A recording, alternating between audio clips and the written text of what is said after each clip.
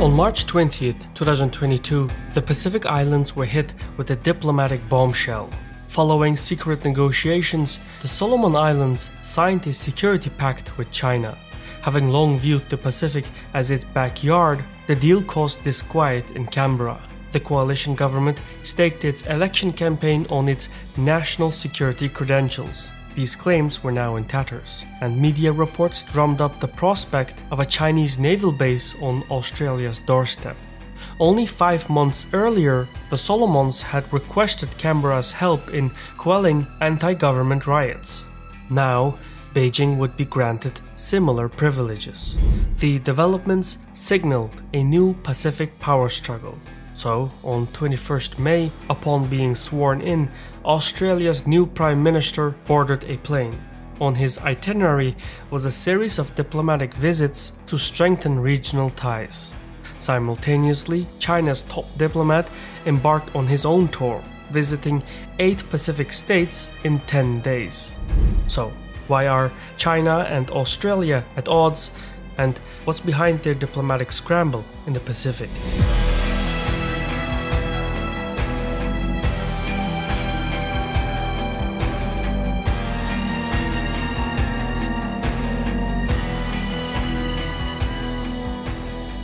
Today's video is sponsored by NordVPN. In times of conflict, geo restrictions make some domains of cyberspace inaccessible. What happens is that governments activate national barriers to minimize their public's exposure to foreign influences. TikTok, Telegram, Facebook, YouTube, and even Wikipedia are banned or closed in some countries. Now, all is fair in love and war, but that makes my job all the more difficult because, regardless of the nature of the conflict, I still have to get my hands on data and intel from the opposite side to keep my content as objective as possible. This is where NordVPN comes into play. Using the app, I can digitally relocate to another country and bypass such national firewalls. It's an essential tool in my arsenal. What's more, no one, including ISP operators, can see what I'm up to, what data banks I'm accessing, or what papers I'm reading. So NordVPN strengthens my access to cyberspace while at the same time ensuring a private web experience. These two principles, privacy and security, are now more important than ever. Use the link in the description to get an exclusive NordVPN deal. It's risk-free with Nord's 30 day money back guarantee. Three trends characterize Australian foreign policy. First, it will ally with the world's chief naval power to protect its maritime interests. Second, it will stay on the winning side of the global geopolitical struggle. Third, it will use the safety of isolation to engage in calculated and deliberate diplomacy. Since 1942, these principles have ensured Australian US alignment, but the relationship is asymmetrical. Canberra needs Washington more than Washington needs it. As such, Australian policymakers promote their country's strategic weight by offering the United States a staging ground for Asia Pacific policymaking. This relationship is bound together by the interoperability of capabilities and forces. The Five Eyes Intelligence Alliance, ANZUS, Quad, AUKUS are but different layers within this larger security umbrella. Australia's unique location and geography yields many more advantages. For instance, the Pine Gap facility in the outback is crucial to American intelligence gathering by interception of signals. The base detects missiles, controls drones, intercepts transmissions across Eurasia, and talks to spy satellites in geosynchronous orbit. Meanwhile, the naval station at Northwest Cape beams data to US submarines. This allows American boats to tail Chinese nuclear submarines and sink them instantly should a war break out. The new AUKUS Pact, signed in 2021, will expand interoperability further, providing Australia with nuclear submarines, cyber capabilities, and hypersonic missiles. Washington thus assumes responsibility for Australia's defense. But the price Canberra must pay in return is to subordinate itself to American grand strategy. Cultural affinity makes Australia's junior partner status easier to swallow. But while leaders sing the tune of shared Western values, the alliance's underlying base note is cold realism. This is why Australia takes a confrontational stance towards China. Some argue that Canberra's policy undermines Australia's economic interests since China is its largest trading partner but this too misunderstands how Canberra perceives its economic interests. Firstly, much of Australia's China bound trade consists of minerals, which account for two thirds of export income. This demand is generated by China's construction industry, especially iron ore, a crucial component in steel. On an annual base, Australia produces 900 million tons of iron ore, more than double that of second placed Brazil. And since there are no significant alternative suppliers, Australian mining companies are convinced that Chinese demand will persist in the face of geopolitical tensions. Secondly, Canberra's perception of its economic interests is shaped by lobbying. Given China's economic weight, one would assume businesses would push for good relations with Beijing. But as of 2019, 15 of the top 20 companies listed on the Australian Securities Exchange were majority American owned, including four of the five mining companies. The holders of equity determine corporate policy and priorities. Thus, in practice, lobbying fuses together Australian and American economic interests. Canberra's role within Washington's security umbrella has led its neighbors to label it America's deputy sheriff or lapdog. Yet, this is only half the equation, and while the American alliance helps ensure Australia's survival, survival is not at all it is interested in. Since the 19th century, Australia's maritime alliances have granted a free hand in the Pacific, from the cotton crops of Fiji to the phosphate mines of Nauru to the gold and copper pits of New Guinea. The Pacific region is a profitable destination for Australian businesses. And since Canberra relies on its companies to obtain tax revenue, it is duty bound to ensure a stable investment climate. Sometimes this means direct military and policing interventions. No doubt, these missions often have a genuine humanitarian purpose, but once the guns fall silent, the first order of business is business.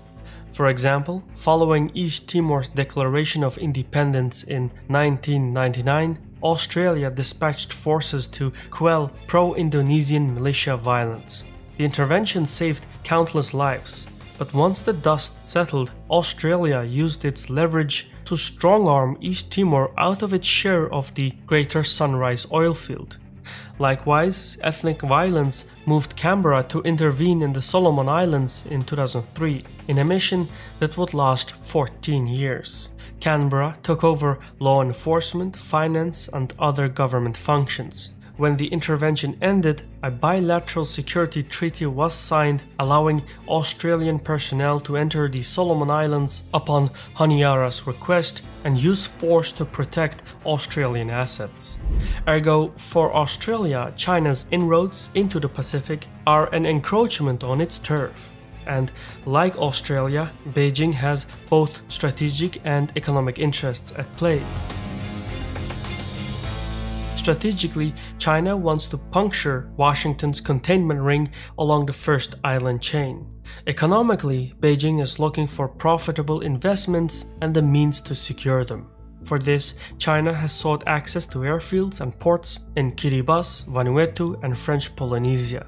It has also forged police and military links in Fiji, Papua New Guinea, and Tonga.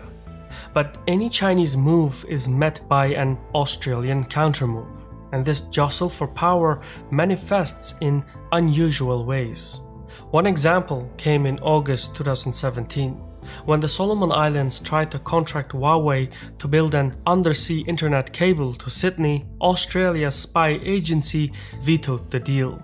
The fear was that Beijing could use cable infrastructure to spy on internet traffic. Accordingly, Canberra stepped in to build the cable itself. And in 2020, it joined forces with Tokyo and Washington to build a similar cable to Palau. Likewise, in 2019, when Papua New Guinea sought Beijing's help refinancing its debts, Canberra responded with a loan package worth $302 million though the terms of the deal were kept secret. That same year, Canberra unveiled a response plan to China's Belt and Road Initiative.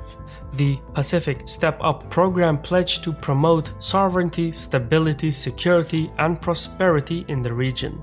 This included $1 billion in aid a $1.4 billion infrastructure financing facility for the Pacific, and a labor mobility scheme allowing Pacific and Timorese nationals to work in Australia.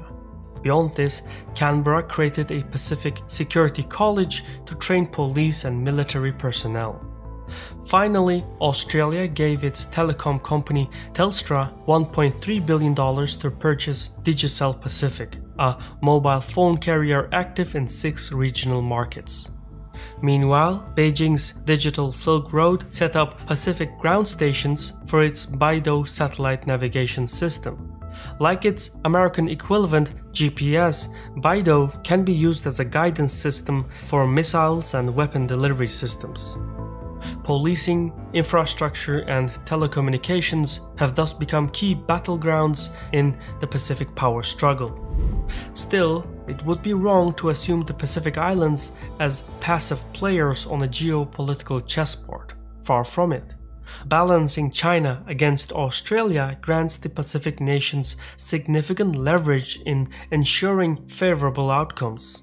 For example, climate change has long been a thorny issue in the region, not least because Australia's coalition government took a dismissive stance on the issue. Kiribati is the Pacific nation with the lowest GDP per capita and is greatly affected by rising sea levels. As such, in 2022, the country signed 10 deals with China and withdrew from the Australian dominated Pacific Islands Forum. Thereafter, Canberra's new Labour government signed an emissions reduction bill into power, hoping that such measures would prevent other Pacific nations from switching camps. East Timor, meanwhile, is seeking for a better deal for its greater Sunrise oil field. The current plan is for a gas pipeline to run to Darwin in North Australia. Dili, however, wants it to run to Timor since the processing facilities will stimulate investments in infrastructure and jobs. Negotiations are ongoing, and East Timor's new president has cautioned to seek Chinese support if Dili does not get its way. Even so, Beijing's influence in the region is limited to bilateral ties, and its attempts to promote a region wide economic security pact have thus far stalled.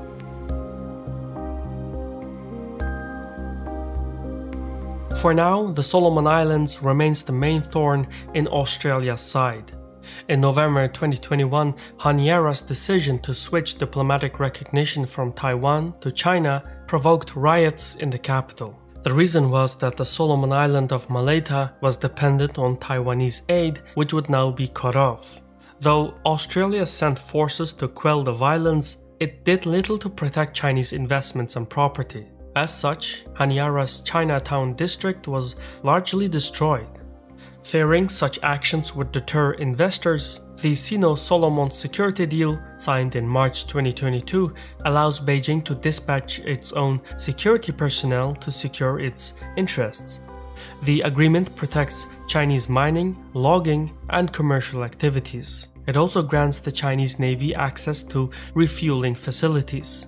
This was then followed by an announcement that Huawei would build 161 new mobile towers on Solomon territory. And on August 29, Panueru further upped the ante by denying maritime access to a US Coast Guard ship. This was followed by a blanket ban on foreign naval vessels. For the long neglected Solomon Islanders, the goal is to extract concessions from Australia and the West. And though Honiara insists Australia is its security partner of choice, it has also said it will look for Chinese help to fill any gaps.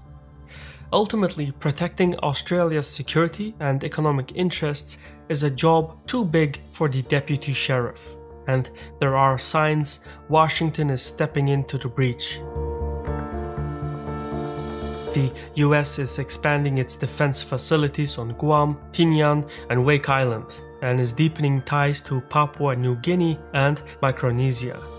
Joe Biden has also invited the Pacific leaders to a meeting at the end of September, a measure that shows the increased importance of the region to Washington's anti China containment strategy. For the moment, the balancing act is paying off for some of the Pacific nations, but the potential dangers of this strategy may yet reveal themselves. As time wears on, the avenues for conflict between Chinese and Western interests will only multiply. Thus, each step must be attended with caution, and each act of charity must be viewed with utmost suspicion. Manipulation is the name of the game, and anything that is manipulatable is rarely yours to keep. I've been your host Shirvan from Caspian Report. Special thanks to Anton Murrell for researching this topic, and if you want to help out, leave a like, comment, and subscribe. Thank you for watching, and Saul.